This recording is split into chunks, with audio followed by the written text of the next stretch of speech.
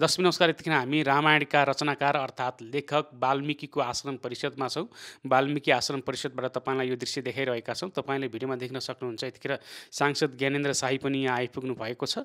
आज हामी वाल्मिकी आश्रमको परिषदभित्र रहेका विभिन्न धार्मिक ऐतिहासिक तथा पुरातात्विक कुराहरूको बारेमा तपाईँलाई जानकारी गराउन गइराखेका छौँ। यो हाम्रो वाल्मिकी ऋषिको समाधि स्थल। उहाँ चाहिँ नि ध्यान गर्दा गर्दा यहीँ विलिन हुनुभएको आत्मा लिन हुनुभएको ठाउँ यहाँ चाहिँ यो पनि गरिन्छ यस कन्दमूल पर्खालै खाएको। स्थल। पर्खालै हो नि यो घरको चाहिँ। यो है? हजुर।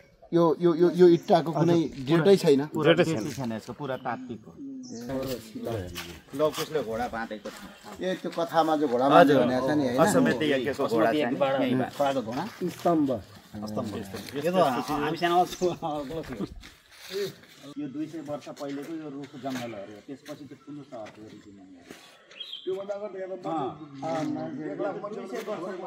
पछिको पो जङ्गल हो जङ्गल पछि जङ्गल बनेको खण्डहर बनेको कृष्ण त यहाँ द्वापरमा कृष्ण द्वापरमा भयो के अरे त्रेता। वाल्मिकी त्रेतायुगको लवकुश जन्मेको स्थल उहाँहरूको जन्मै लवकुशलाई शिक्षा दिएको ठाउँ है त्यहाँबाट यहाँ पाठशाला थियो। यहाँ चाहिँ नि वेद पुराण पुस्तकहरूको शिक्षा दिनुहुन्थ्यो। नदी किनारमा तीर्थहरूको शिक्षा प्रकृति झुला हो यहाँ एउटा ढले भने दसवटा तयार हुन्छ। दसवटा तयार हुन्छ यो अमरलता भनिन्छ यसलाई। अनि यो चाहिँ एउटा झुलुङ्गा यहाँ ढले भने दसवटा तयार हुन्छ यहाँ। तयार हुँदैछ नि ए है? यो प्राकृतिक रूपले यहाँ तयार भइरहन्छ एउटा खसे पनि अर्को तयार यहाँबाट बिले यहाँबाट फाटेर भित्र पस्नु यस्तो यस्तो कुरा पनि नेपालले किन अझै भनेको छैन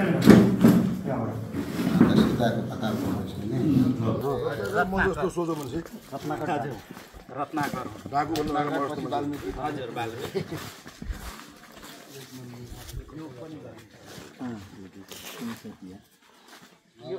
यो पुरानो हो। पुरानो पुरै दरबार हो यहाँ। पुरै दरबार। यता यता यताबाट। यसै स्थलबाट चाहिँ त्यो मूर्तिहरू उत्खनन गरेर यहाँ मन्दिरमा स्थापना अहिलेको अवस्थामा वाल्मिकी आश्रम कस्तो अवस्थामा छ त भनेर हामी तपाईँलाई विस्तृत रूपमा जानकारी गराउन गइराखेका छौँ। आउनुहोस् तपाईँलाई थप जानकारी पाउन मन छ भने कृपया भिडियो अन्तिमसम्म हेर्नुहोला।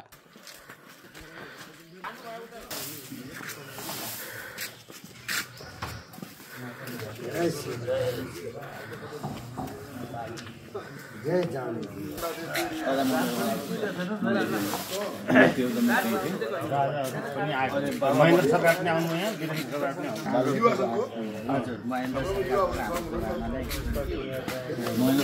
उहाँको बुवा आमालाई यहाँ खानुहुन्थ्यो उहाँ अहिले केही पनि छैन राजा महेन्द्र सरकारले चाहिँ महेन्द्र सरकारले यहाँ मान्छे नबसाले भइदिएपछि यो त इन्डियन लवकुशको जन्म यही भएको होइन। ठाउँ अगाडि छ सीता माताको फोटो लकुशको मूर्ति हो त यता वाल्मिकी ऋषि। यहाँबाट बिले हुनुभयो। अँ यहाँबाट भित्र घरतिर फाटेर भित्र पस्नु यस्तो यस्तो कुरा पनि नेपालले किन अझै भोग्रीमा राख्छ सीताको कथा छैन यसो कति कथा छैन यो अब यसपछि। बेला आउन यो है वाल्मिकीको आश्रम।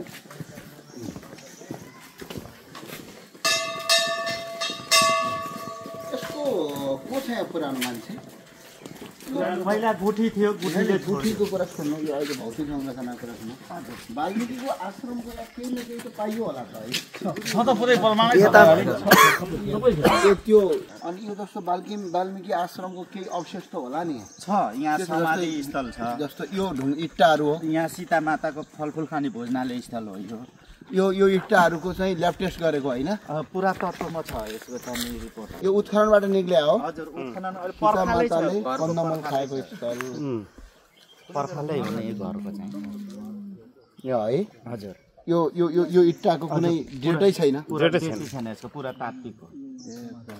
हजुर। सबै कुराहरू बिस्तारै गर्नु यो खन्दा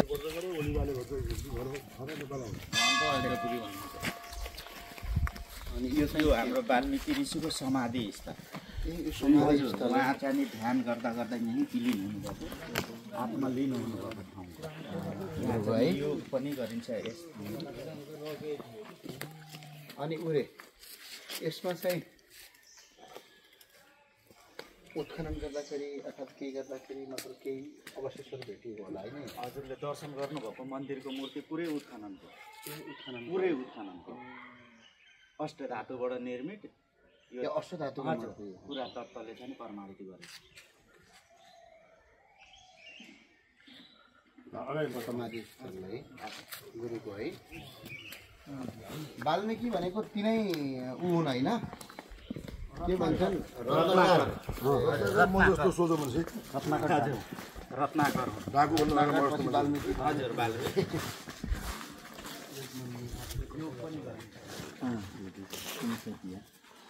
यो यो पुरानो हो। पुरानो पुरै दरबार हो यहाँ।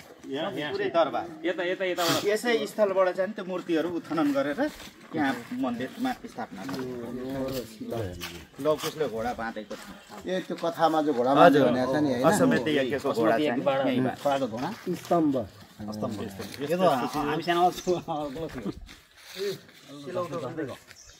ए, यो धक्सिएको हो।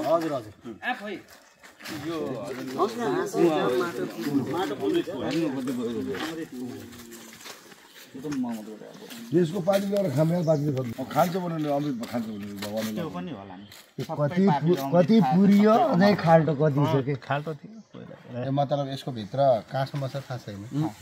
भन्न यो तिस पैँतिस फुट छ त्यसपछि उत्तरतर्फ सुरुङ छ च्याउघाट निस्किन्छ अरे भन्ने जाने एउटा किंवदन्ती। किंवदन्ती। यो पुरानो यो पहिलाकै कुरा हो। हो पुरै पुरानो। पुरानो। अनि यो चाहिँ के तपाईँ अगाडि आउनुहोस् न। अन्त पनि यो चाहिँ नि बस्ने स्थल बनाएको थियो।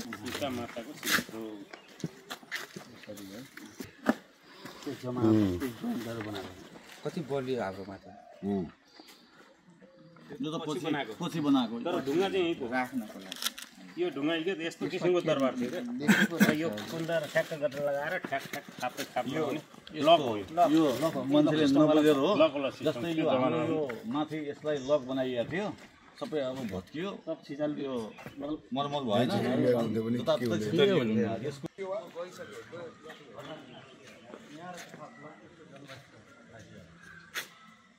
अब यस्तो विष्णु चक्रहरू थियो अब यो वान यो गेट हो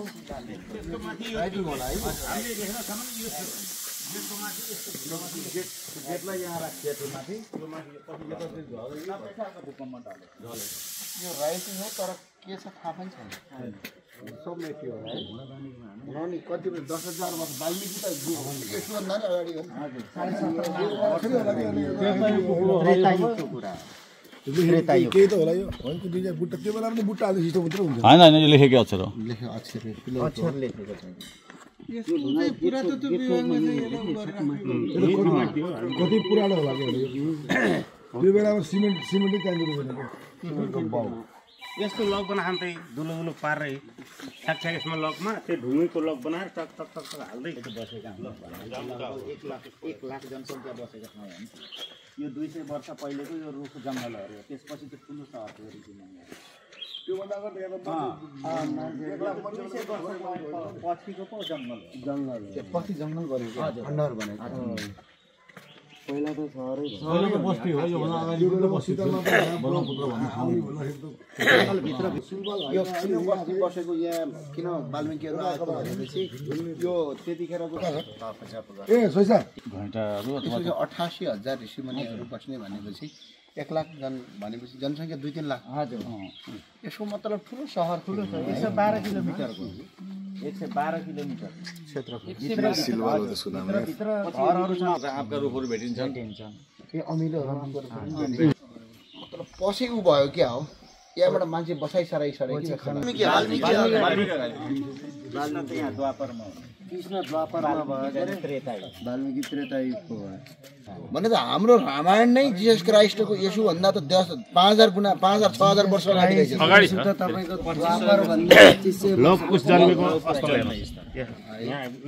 उहाँहरूको जन्मै जिसस त तपाईँको द्वापरभन्दा पच्चिस सय तिन हजार वर्ष पछिको कुरा हो। भने भगवान् अरे श्रीकृष्णभन्दा वाल्मिकी अगाडि है। अगाडि भने अब श्रीकृष्णको यहाँ चाहिँ बासा आएको यहाँ ऊ आएको छ आएको छैन। श्रीकृष्णको यता भ्रमण छैन। भने श्रीकृष्ण हुनु- श्रीकृष्णको भ्रमण भन्नाले यो हाम्रो पाँच पाण्डवहरू आएका छन् हाम्रो ठोरी साइडमा। वाल्मिकी लव कुशलाई शिक्षा दिएको ठाउँ भयो यहाँ पाठशाला थियो। यहाँ चाहिने वेद पुराण पुस्तकहरूको शिक्षा दिनुहुन्थ्यो नदी किनारमा तीर्थहरूको शिक्षा। यो उहाँको भवनको दरबारको यो। पहिलेबाट थियो अनि यहाँ फेरि महेन्द्र सरकारको पालामा यो काठ लगाएर तारबार गरेर जग्गा छोडेर निकुञ्जभन्दा बाहिर राख्नुपर्छ हो महेन्द्र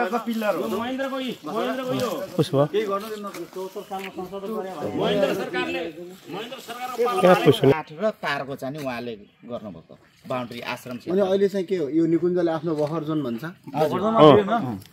केही गर्नै दिँदैन यहाँनिर केही आश्रमको लागि केही विकास। मन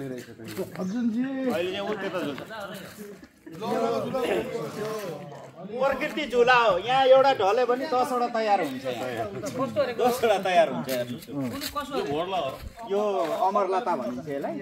अनि यो चाहिँ एउटा झुलुङ्गा यहाँ ढल्यो भने दसवटा तयार हुन्छ यहाँ। तयार हुँदैछ नि प्राकृतिक रूपले यहाँ तयार भइरहन्छ। एउटा खसे पनि अर्को तयार तिन चार पाँचवटा जति तयार हुँदैछ।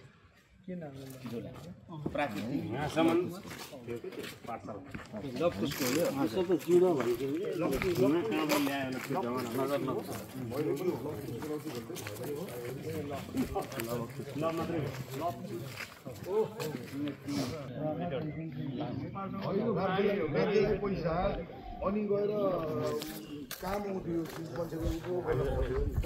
सीताले माटोको गाग्रो राख्दा राख्दा यो ढुङ्गा खियो भनेपछि के बाँच्यो होला ढुङ्गा खिएछ सीताले गाग्रो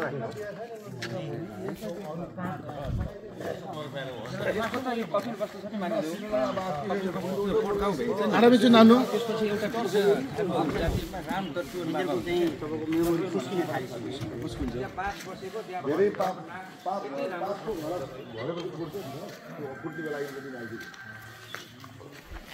रामको त धेरै इतिहास जोडेको छ नि। अब आँधी खोला छ नि अन्डा अन्डी मारेको भनेर। आँधी खोलाको मेन ऊ त्यहाँ पिर हानेर पानी झिक्यो भन्छ। होइन अनि कपिल वस्तुमा राम दत्तिवन बाबा भन्ने छ क्या भैरव नाग रामहरू वनवास हिँड्दाखेरि त्यहाँ बास बसेको छ। म चाहिँ हरिहर मन्दिरको चाहिँ अब पुजारी परिवार होइन, परिवार होइन। यहाँको प्रथम पुजारी भनेको अब मेरो कासु ससुरा होइन। उहाँहरूलाई चाहिँ मन्दिर राजाले यहाँ राख्नुभएको दुई हजार बाइस सालमा।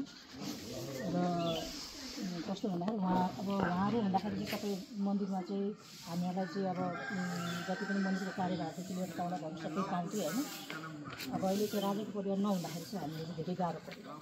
अहिले तलब दिँदैन। केही पनि छैन। सम्बन्धित कसैले अनि यता वाल्मिकी आश्रमको उनीहरूलाई त उहाँहरूलाई त पुजारीहरूलाई त हामीले तलब दिनुपर्ने हो त। छैन हामीलाई केही पनि छैन। खाना भत्ता सत्ता केही केही छैन। केही पनि छैन। म पूजा पसल चलाएर मन्दिर चलाउँछु। यहाँ मन्दिरमा एउटा दियो जलाउनु कहिलेबाट काटेको यो कुरो? यो चौवालिस साल हो वीरेन सरकार बित्नुभयो त्यसपछि।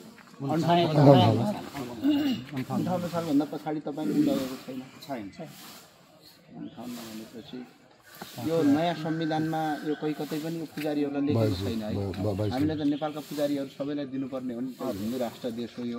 धर्मै उ गरिदियो नि त निरपेक्ष भनेपछि सबै त्यहाँबाट समाप्ति गरिदियो जम्मै अहिले केही पनि छैन है। केही पनि छैन हामीलाई। अब होइन देशैभरिका जस्तै पहिला के थियो भने जस्तै हाम्रो चन्दनाथ छ कि जुम्ला त्यहाँका मठाधीशहरूलाई तलबहरूको व्यवस्था खानपिनको व्यवस्था हुन्थ्यो सरकारको तर्फबाटै हुन्थ्यो। अहिले छैन। यो गर्नुपर्ने हो। अब कस्तो भन्दाखेरि चाहिँ अब विश्वकै र हाम्रो नेपाल नेपालभरिकै सबैभन्दा ठुलो सम्पत्ति चाहिँ अब भनौँ न हामी दुई हजार बाइस सालमा त यहाँ को थियो र कोही पनि थिएन। मेरो सासू ससुरा नै उहाँहरू मात्रै एउटा यहाँनिर दुईजना व्यक्ति मात्रै हुनुहुन्थ्यो होइन। रुखको जरा मुनि बसेर चाहिँ उहाँहरूले जति पनि यो के अरे अमूल्य अनमोल मूर्तिहरू जति पनि छन् होइन रामायणको अस्तित्व झल्काउने उयोहरू सबै उहाँहरूले चाहिँ आफ्नो धेरै ठुलो योगदान दिएर चाहिँ सबै चिज उहाँहरूले संरक्षण गर्नु होइन उहाँहरू नभइदिए भए यो नेपाल भन्ने ठाउँ पनि आज नहुन सक्छ। उहाँहरूले नै सबै महेन्द्र कति परिवार हुनुहुन्छ तपाईँहरू हामी तिनवटा छोरी। दुईवटा छोरी त बिहा भइसकेको छ होइन? होइन न अरू बस्ती कति छ? ए यहाँ एघार घर। बस्ती तपाईँहरू कुन गोत्रको पर्नु हामी गिरी गिरीहरू। महेन्द्र सरकारले नियुक्ति दिनुभएको कागजपत्रहरू पनि छ।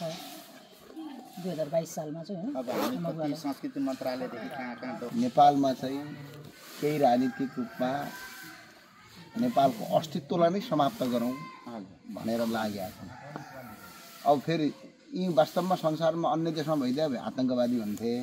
नेपालमा चाहिँ राजनीति गरी भइरहेको छ। फरक त्यति हो। त्यो भयो हुनाले अब तपाईँकै चितवनकै वासी छन् के अरे यहीँकै मान्छेहरू हुन्। होइन अब यो तपाईँको मात्र समस्या होइन नेपालभरिका मठाधीशमा त्यो समस्या आइसक्यो। कसैलाई पनि दिएको छैन। कसरी पनि हुन्छ धर्म कर्मलाई मास्ने। भन्ने परम्परा छ। अब यो परम्परालाई अन्त्य गर्नका लागि अब हामी आएका छौँ। अब हामी संस्कृति मन्त्रीसँग चाहिँ भन्दा पनि अब संसदमा चाहिँ यो आवाज उठाउँछौँ। किनभने देशभरिका पुजारीहरूलाई हुन्छ। सम्बन्धित ठाउँमा म यो कुरा उठाउँछु। है अब म त सरकारमा छैन। सरकारमा म आफै भइदियो भने लागू गर्न लाउँछु। भगवान्को आश्रमले भएर संस्कृति मन्त्रालय हाम्रो पऱ्यो भने हाम्रो पहिलो निर्णय नै यो पनि हुन्छ एउटा। है? किनभने यत्रो भ्रष्टाचार गर्छन् होइन हाम्रो धर्म कर्म बसाउने मान्छेहरूको जीवन हुन्छ हजुर।